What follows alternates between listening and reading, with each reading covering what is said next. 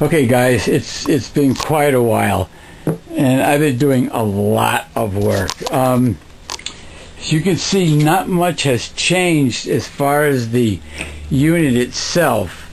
I that's the that's that's the power rotor, okay, and it's being powered by two uh, straight up Bedini circuits running off of the same battery, and all I want it to do is to um, produce power. I don't care about back EMF.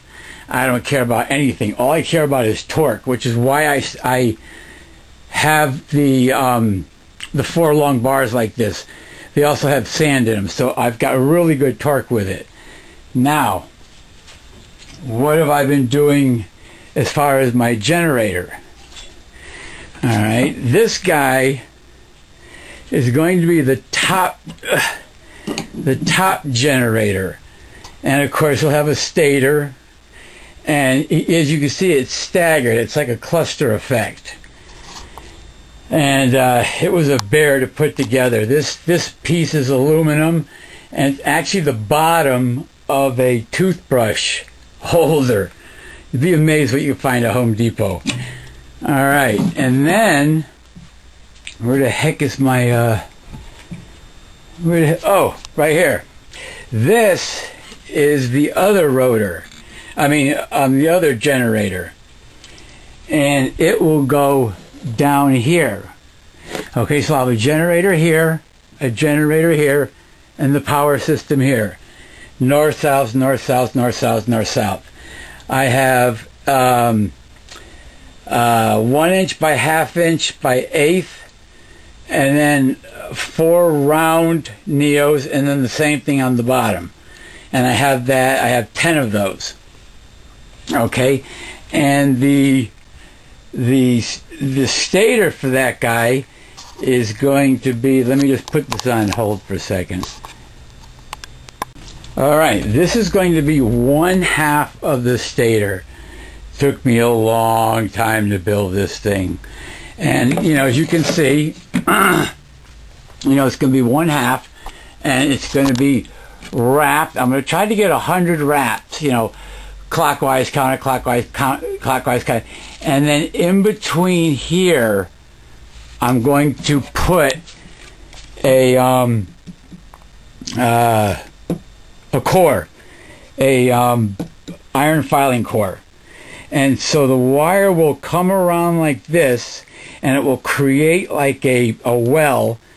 I will then spray the hell out of it with polyurethane or something.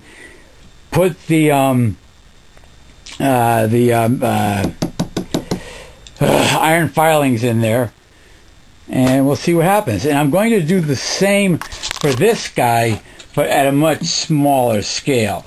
So you see, you've got this guy, kind of like. Uh, let me see if I can get this right. Sorry about the video, guys. So this guy will be like this. Alright, except there'll be two of them. And each one is going to be uh, AC rectified individually and then connected out. Okay, and as you can see, I've got my wires coming out here from my Bedini circuit. Uh, you know, again, I'm not looking to do anything spectacular.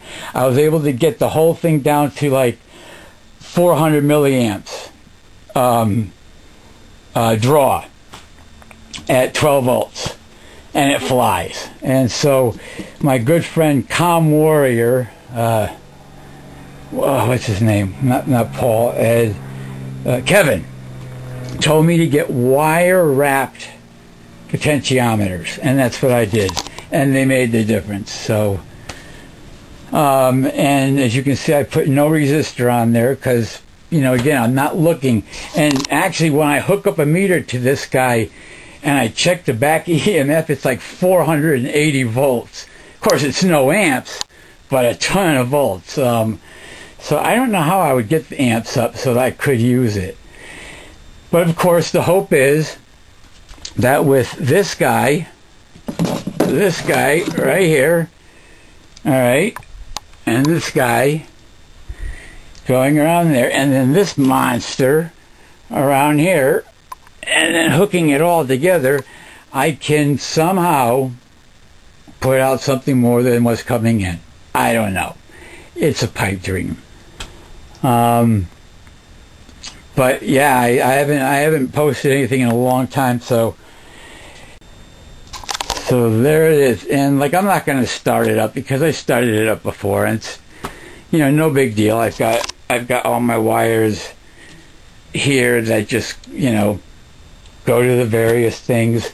Oh, and I did manage to snag me a high voltage capacitor, which is sweet.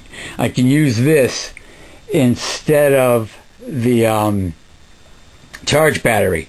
And also, I need some help.